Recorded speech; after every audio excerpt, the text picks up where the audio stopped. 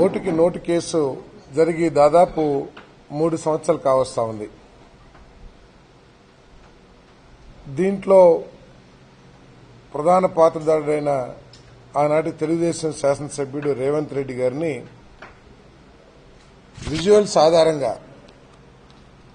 Arrest చేయటం కానివ్వండి enquiry చేయటం కానివ్వండి అన్నీ జరిగినాయి.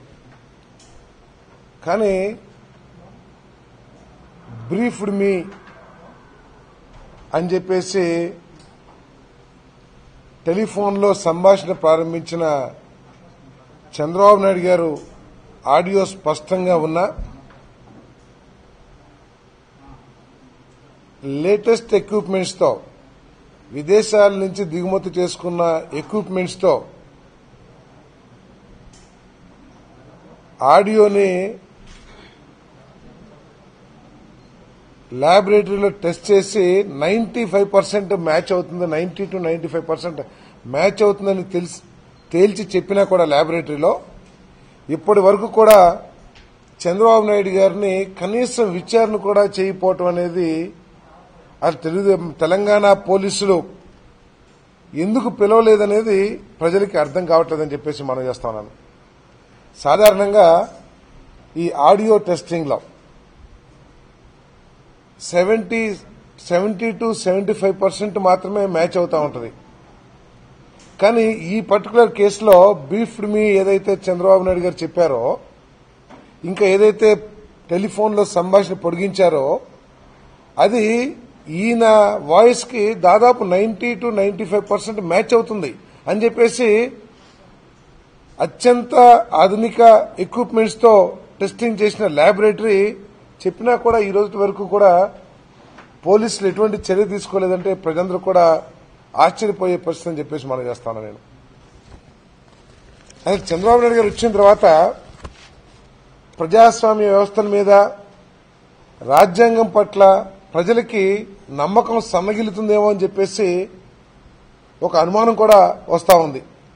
ఎందుకంటే చంద్రబాబు నాయుడు గారు ఏ వ్యవస్థలో అయినా సరే అది న్యాయ వ్యవస్థ కానివ్వండి లేదా రాజ్యాంగం కానివ్వండి ప్రజాస్వామ్య వ్యవస్థలు కానివ్వండి అన్నిటినీ కూడా తనకు అనుకూలంగా మరల్చుకోగలను అనే ఒక ధీమాతో పనిచేస్తూ ఈ వ్యవస్థలన్నింటినీ కూడా నిర్వీర్యం చేసుకుంటూ పోతున్నాడని చెప్పేసి మనం చేస్తాను నేను.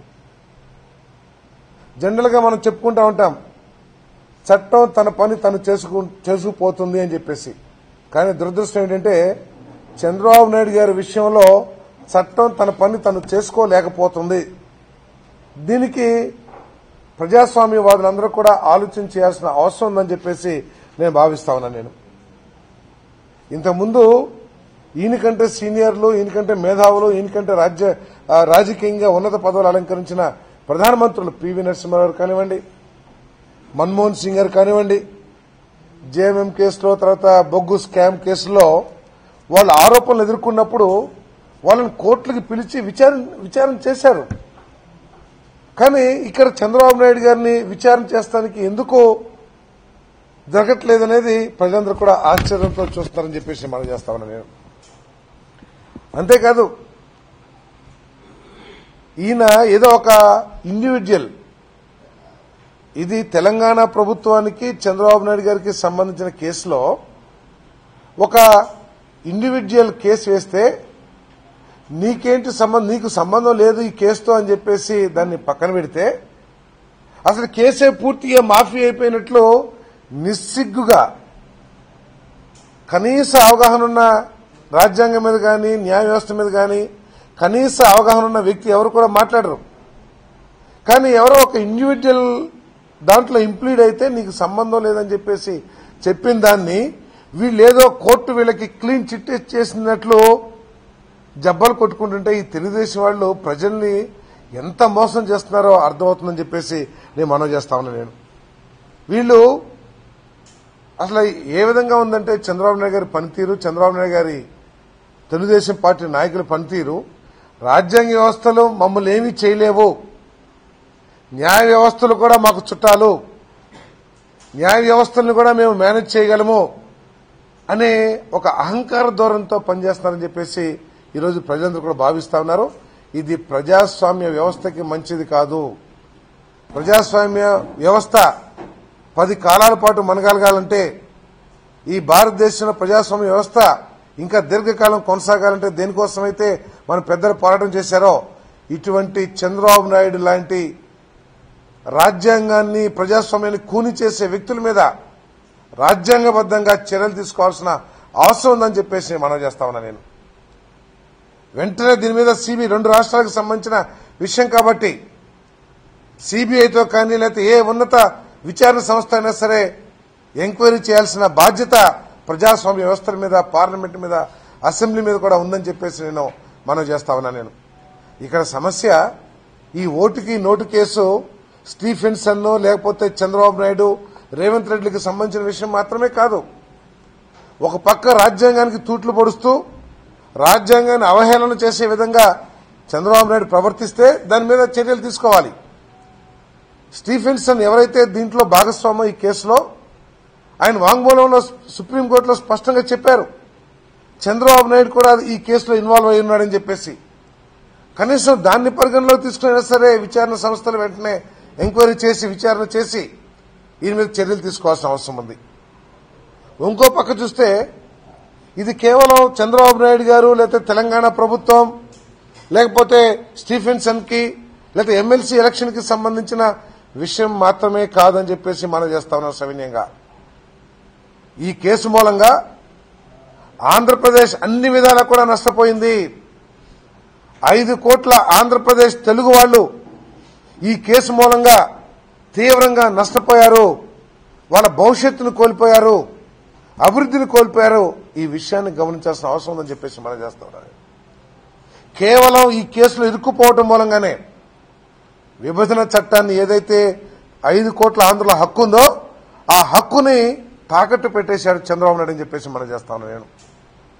హైదరాబాద్లో పది సంవత్సరాలు హైదరాబాద్ మన కేంద్రంగా వాడుకోవటానికి ఆ సెక్రటరీని వాడుకోవటానికి మనకు చట్టపరంగా హక్కు ఉంది కానీ కేవలం ఈ కేసులోంచి తప్పించుకోవటానికి తెలంగాణ సర్కారు దగ్గర మోకరిల్లి ఇక్కడ ఎటువంటి సదుపాయాలు లేకపోయినా కూడా నష్టం వాటిల్లుతుంది అడ్మినిస్ట్రేషన్కి ఇబ్బంది అవుతుందని కూడా తెలిసి కూడా అక్కడి నుంచి పిరికి పొందల దొంగల పారిపోయి వచ్చి ఈ రాష్ట్రానికి తీరని అన్యాయం చేశాడని చెప్పేసి మనం చేస్తాను ఎంత తెలివైనడంటే అక్కడ పిరికి పొందల పారిపోయి తను చేసిన పాపానికి ఐదు కోట్ల మంది ఆంధ్రుల హక్కుని అక్కడ తాకట్టు పెట్టి ఇక్కడికి వచ్చి చెట్టు కింద కష్టపడతానని నాటకాలాడేంత నటుడు ఈ చంద్రబాబు నాయుడు అని చెప్పేసి కూడా నేను మనవి చేస్తా ఉన్నా నేను.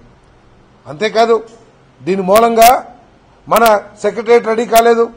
అన్ని వ్యవస్థలు కానీ మన కమ్యూనికేషన్ సిస్టమ్స్ కానీ లేదా ఇతర వ్యవస్థలు కానీ పూర్తిగా డెవలప్ కాకపోయినా కూడా కేవలం వాళ్ళు దానికి భయపడి కేసుకు భయపడి పారిపోయి ఉద్యోగస్తులను ఇబ్బంది పెట్టాడు. అనవసరమైన ఆర్థిక భారాన్ని ఈ రాష్ట్రం మీద మోపాడు. అధికారులందరూ కూడా ప్రతి శనివారం ఆదివారం వాళ్ళ కుటుంబాల దగ్గరికి హైదరాబాద్ వెళ్ళాల్సిన పరిస్థితిని సృష్టించాడు. కనీసం ఉద్యోగస్తులకి కనీస వసతులు ఆఖరికి త్రాగునీటి వసతి కూడా లేకోకుండా ఇక్కడ సెక్రటరీకి ఏదో తీసుకొచ్చాడని చెప్పేసి ఈ రాష్ట్రానికి అన్యాయం చేశాడని చెప్పేసి మనం చేస్తాడు అంతేకాదు కేవలం ఈ కేసు మూలంగా. కేసీఆర్ గారు లోపల ఎక్కడేసేస్తాడో వాళ్ళిద్దరికి మధ్య జరిగిన సంభాషణ కానివ్వండి కేసీఆర్ గారు చెప్పారు దేవుడు కూడా రక్షించలేడు చంద్రబాబు నాయుడు అని చెప్పేసి. ఈయన చెప్పాడు నాకు సిబిఐ ఉంది నాకు ఏసీబీ ఉంది నాకు పోలీసులు ఉన్నారు ఏంటో చంద్రబాబు నాయుడు కేసీఆర్ సొంత వ్యవహారాలాగా మాట్లాడుకున్నారు. ఆ భయంతో కానివ్వండి లోపల ఎక్కడేస్తాడో అనే భయం కానివ్వండి ఆఖరికి ఎటువంటి అనుమతులు లేకోకుండా మన రాష్ట్రానికి రావాల్సిన నీటిని నదుల మీద ప్రాజెక్టులు అనుమతులు లేకుండా కడుతున్నా కూడా తేలుకుట్టిన దొంగల కనీసం నోరు కూడా మెదపుకోకుండా ఈ రాష్ట్ర ప్రభుత్వం నోరు మూసుకుందంటే కేవలం ఈ కేసు మూలంగానే. అందుకే మాకు ఈ కేసు యొక్క పూర్తి పూర్వపరాలు పూర్తి విచారణ జరగాలనేది మేము డిమాండ్ చేస్తా ఉన్నాం. అంతేకాదు ఎక్కడ సిబిఐ ఎంటర్ అవుతుందో ఎక్కడ సిబిఐ కేసు పెట్టి అరెస్ట్ చేస్తుందో చాలా స్పష్టంగా అర్థమైపోయింది. ఆయనదే వాయిస్ అని చెప్పేసి ఆయనే ఈ కేసుకి మూలాధారం అని చెప్పేసి అందరికీ అర్థమైపోయింది. ఎక్కడ సిబిఐని బొక్కలతో వస్తుందనే భయంతో నాలుగు సంవత్సరాలు కేంద్ర ప్రభుత్వంలో భాగస్వాములుగా ఉన్న వాళ్ళకి బీజేపీకి ఊడిగం చేశాడే తప్పితే ఈ రాష్ట్ర హక్కుల్ని కాపాడటంలో కానీ విభజన చట్టాన్ని అమలు చేయించడంలో కానీ పూర్తిగా తేలికుట్టిన దొంగలానే ప్రవర్తించాడని చెప్పేసి మనం చేస్తా ఉన్నాను ఏ ఒక్క సందర్భంలో కూడా విభజన చట్టంలో అంశాలు ఎందుకు అమలు చేస్తలేదని చెప్పేసి నిలదీగిపోవడానికి కారణం ఈ ఓటుకు నోటు కేసు ఈ బ్రీఫ్డ్ మీ కేసు అని చెప్పేసి మనం చేస్తా ఉన్నాం. అంతేకాదు ఈ రాష్ట్ర భవిష్యత్తుకు సంబంధించి ఈ తెలుగు ప్రజల యువతి యువకుల భవిష్యత్తును కూడా ప్రత్యేక హోదా విషయంలో తాకట్టు పెట్టింది కూడా ఈ కేసు మూలంగా అని చెప్పేసి మనం చేస్తా ఉన్నాం. కేవలం ఈ కేసుకు భయపడి కేంద్ర ప్రభుత్వం ఆడమన్నట్లల్లా ఆడి ఈ రాష్ట్రానికి ఈ కేసు మూలంగా అన్యాయం చేశాడు కాబట్టి దీని మీద వెంటనే కేసీఆర్ గారు విభజన చట్టాన్ని అమలు చేయటం మూలంగా కేవలం ఆంధ్రప్రదేశ్కే కాదు తెలంగాణకు కూడా మేలు జరిగిద్దన్న విషయం అందరికీ తెలిసిందే. దీని మీద వెంటనే ఎంక్వైరీ చేసి దీని మీద చర్యలు తీసుకోవాలని చెప్పేసి మనం చేస్తా ఉన్నాను. ఎంత అహంకారంతో పనిచేస్తున్నారంటే ఈ చంద్రబాబు నాయుడు గారు? రాజ్యాంగం అంటే ఆయనకి ఏదో పిచ్చి రాతలాగా అనిపిస్తా ఉంది. రాజ్యాంగం అంటే ఏదో పిచ్చి కాగితాల్లాగా అనిపిస్తా ఉంది చంద్రబాబు నాయుడు గారికి. రాజ్యాంగ పరంగా తనకు వచ్చిన అధికారాల్ని రాగద్వేషాలకు అతీతంగా అమలు చేయాలి వాడాలి అని చెప్పేసి నిబంధన తన ప్రతిజ్ఞ ఉన్నా కూడా కుల మత రాగద్వేషాలకి లోనయ్యి పనిచేస్తున్నాడని చెప్పేసి మీ అందరూ కూడా మనం చేస్తున్నాను ఈ విషయం హైకోర్టు జడ్జిల నియామకం విషయంలో స్పష్టంగా తేటతెల్లమైంది. బలహీన వర్గాలకి సంబంధించిన న్యాయవాదుల్ని జడ్జిలుగా అపాయింట్మెంట్ చేయటంలో పూర్తిగా రాజ్యాంగానికి రాజ్యాంగ పరంగా తనకు సంక్రమించిన అధికారాన్ని స్వార్థంతో కుల మత రాగద్వేషాలకి లోబడి పనిచేసిన మూలంగా బలహీన వర్గాలకి అన్యాయం చేసిన విషయం కూడా మనందరూ ఈ ప్రజలందరూ కూడా ఒకసారి జ్ఞాపకం చేసుకోవాలని చెప్పేసి మనం చేస్తా ఉన్నాను. అంతేకాదు రాజ్యాంగ పరంగా తనకు సంక్రమించిన ఏదైతే పీపీల అపాయింట్మెంట్ కానివ్వండి ఈ రాజ్యాంగ అపాయింట్మెంట్స్ ఏదైతే ఉంటాయో దాంట్లో కూడా కుల మత వివక్షలకు లోనయ్యి ఈ చంద్రబాబు నాయుడు పనిచేస్తున్న విషయాన్ని ఈ రాష్ట్ర ప్రజలందరూ కూడా గమనించాలని చెప్పేసి మనం చేస్తున్నాను. వెంటనే దీన్ని ఏ స్థాయిలో అయినా సరే అవసరమైతే సిబిఐ కానివ్వండి లేదు తెలంగాణ పోలీసులు కానివ్వండి దీని మీద పూర్తి విచారణ చేసి నిజానిజాలని ఈ దేశ ప్రజలకు తెలియజేయాల్సిన అవసరం ఉంది. చంద్రబాబు నాయుడు ఎంత స్వార్థపరుడో ఎంత పిరికి పందో ఎంత అవినీతిపరుడో ఎంత రాజ్యాంగాన్ని తూట్లు పొడిచే విధంగా ఎమ్మెల్యేలు కొనటం కానివ్వండి ఎమ్మెల్యేలు కొని రాజ్యాంగం నాది ఏమీ చేయలేదు అనే దృక్ దృక్కోణంతో ఆఖరికి ఇతర పార్టీల నుంచి వచ్చిన ఎమ్మెల్యేలని మంత్రులుగా కూడా తీసుకుంటానికి ధైర్యం చేస్తున్నాడంటే రాజ్యాంగాన్ని ఏ విధంగా ఖూనీ చేస్తున్నాడో ప్రజలందరూ కూడా గమనించాలని చెప్పేసి మనం చేస్తాను